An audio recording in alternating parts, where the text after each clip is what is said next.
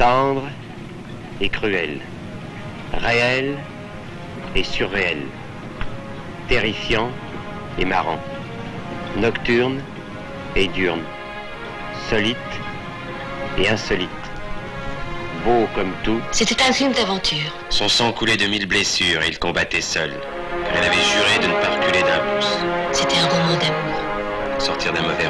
C'était un film d'aventure. Ah, quelle terrible 5 heures du soir. C'était un roman d'amour. Nous vîmes des paysages d'hiver et des paysages d'été. Compère, vous montez. Compère, qu'as-tu vu? J'ai vu le café où Van Gogh, un soir terrible, a décidé de se couper l'oreille. Une saison en enfer. Un poète qui s'appelle Revolver. Robert Browning. M'échapper, Jamais. bien aimé. Tant que je serai moi. Et que tu seras toi. Cela ressemble trop à la fatalité. Un petit port comme dans les romans de Conrad. Un bateau à voile, comme dans les romans de Stevenson.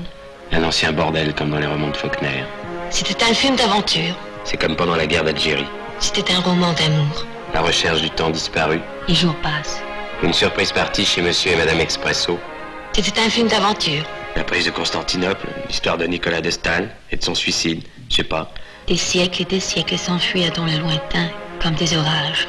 L'amour est à réinventer. La vraie vie est ailleurs. Marianne Renoir. C'était un roman d'amour. Tendre et cruel. Réel et surréel. Terrifiant et marrant. Nocturne et diurne. Solide et insolite. Beau comme tout. Pierrot le fou